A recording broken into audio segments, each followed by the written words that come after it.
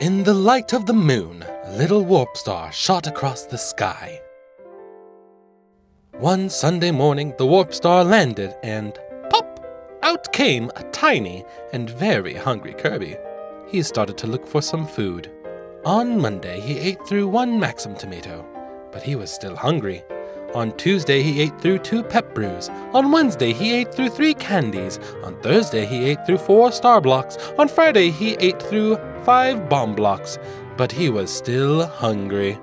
On Saturday, he ate through a plate of super spice curry, one heart container, King Dedede, one fish dinner, one ugly thing, and Falco's bread.